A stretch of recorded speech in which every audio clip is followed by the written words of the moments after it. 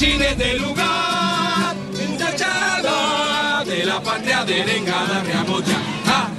Facultad de Ciencias Económicas, de 13 Noticias, presente, nueve años de transmisión. Y a través de las redes sociales, T13 Noticias también recibió comentarios positivos y el reconocimiento a nuestro trabajo periodístico.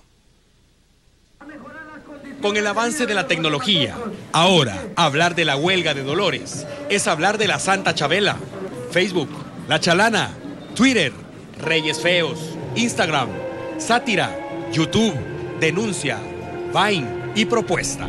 Desde que inició la transmisión del desfile bufo en su edición 118, miles de personas manifestaron su postura sobre esta peculiar actividad, haciendo uso de las redes sociales. En T13 Noticias, para celebrar nueve años de transmisión continua, creamos la etiqueta La Huelga por T13, que más tarde se convirtió en tendencia en Guatemala. Escribieron televidentes que siguieron nuestra transmisión de distintas regiones del país.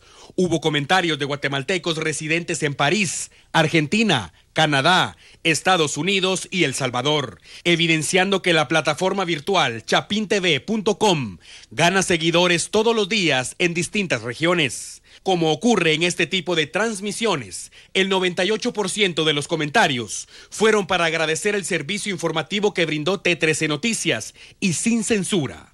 Hubo algunos que no estuvieron de acuerdo ni con la transmisión ni con el desfile bufo, pero bueno, lo importante es que pese a estar en desacuerdo, nunca perdieron sintonía y se tomaron el tiempo para comentar utilizando nuestra etiqueta. Así que de igual manera, Gracias a todos por la interacción a través de la red.